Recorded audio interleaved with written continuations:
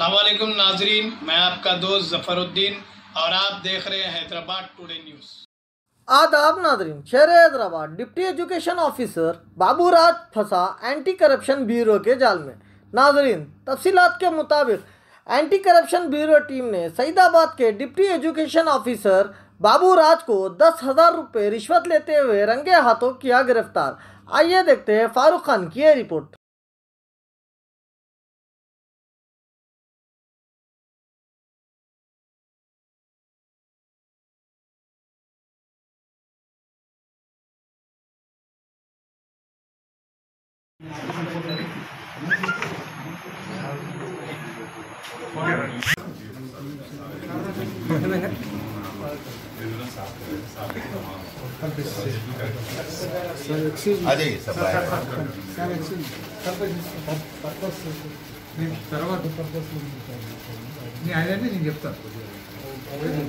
photographer just